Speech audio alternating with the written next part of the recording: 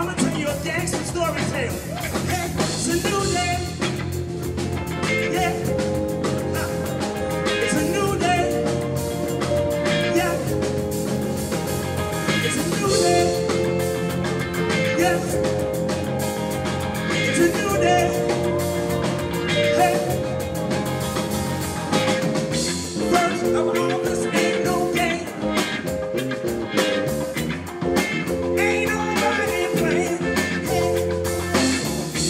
Jesus.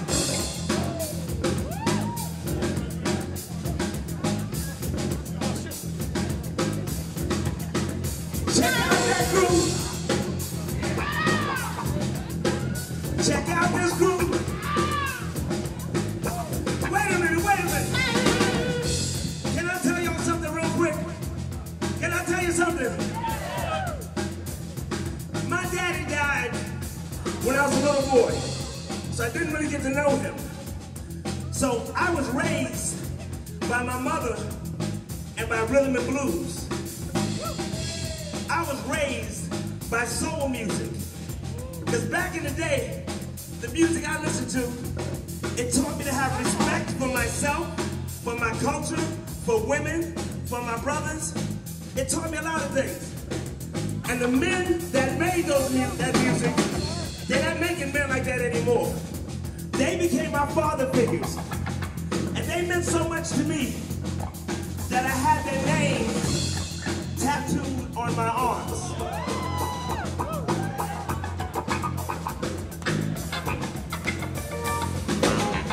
So you know who I'm talking about. I want you to give them a round of applause, okay? All right? I'm talking about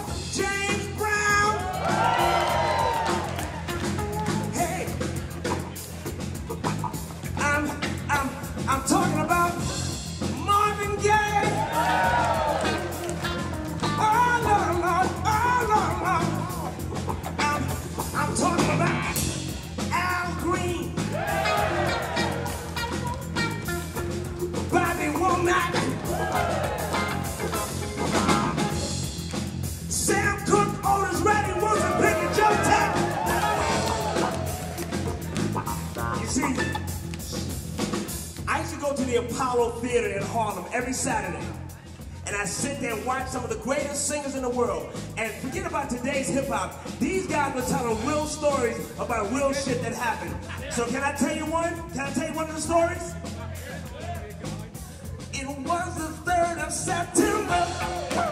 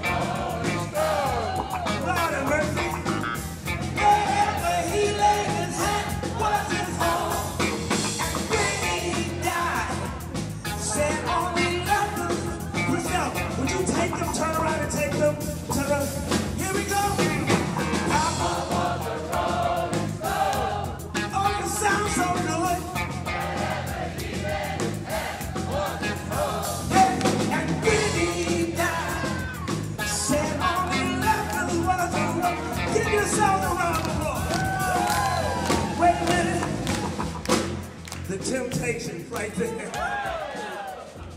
know who else I used to go see? Little short guy, had glasses, played guitar, had went solo from his group, wrote some of the greatest love songs and some of the greatest protest songs. Curtis Mayfield. And he said, I'm your mama, I'm your daddy, I'm that brother in the attic, I'm your want some color,